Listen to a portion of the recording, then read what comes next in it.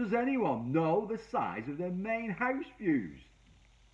I agree, it's not something most people give a hoot about usually, until you need an electric car charger fitting, that is, which will be lots of us soon because of the government's impending 2030 ban on new sales of petrol and diesel vehicles.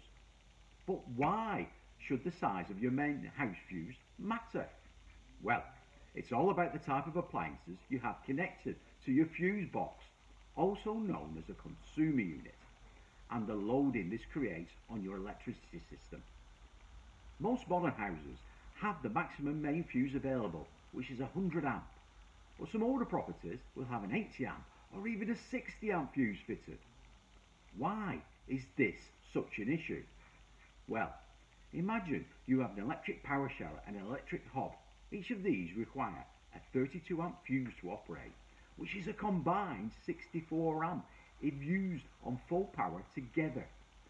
It's unlikely though you'll have everything on full at the same time, but it won't take many other smaller household appliances to be operating before it trips a 60 amp main fuse.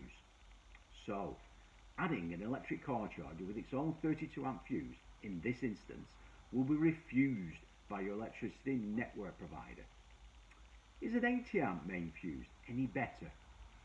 Yes, but you're still likely to require low, a load management device which regulates the power going to the charger before you be able to have a car charger fitted.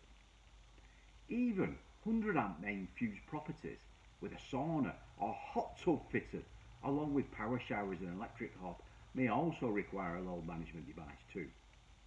Some good news though. If you want an EV charger fitting and your electricity network provider say your 60 amp fuse needs upgrading, they'll upgrade it to 80 amp for free. And as your chosen EV charger installer, we'll help you through the process.